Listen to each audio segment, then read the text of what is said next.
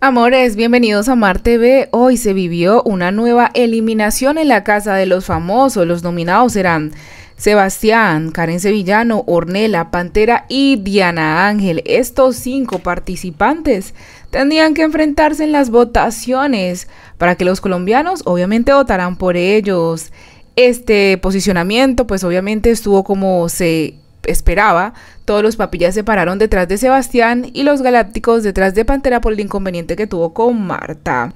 Por otro lado, ya en la sala de eliminación vimos que sorprendentemente algo muy extraño pasó y es que el primero en abandonar esta sala de eliminación y regresar a la casa fue Sebastián, con un 45.25% supuestamente. Él quedó tan sorprendido que ni se lo creía. Después de eso vimos que con un 16,15% regresó Karen Sevillano, pero entre lágrimas.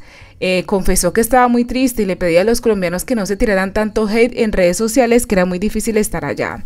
Por otro lado, Ornella, quien estaba llorando desde antes de que Cristina y Carla empezaran a hablar, dijo que se sintió muy feliz de volver a la casa, que pensaba que ella sería la que se iba para la casa y tuvo un 14.10% de las votaciones. Obviamente los papilla estaban muy afectados por esta situación.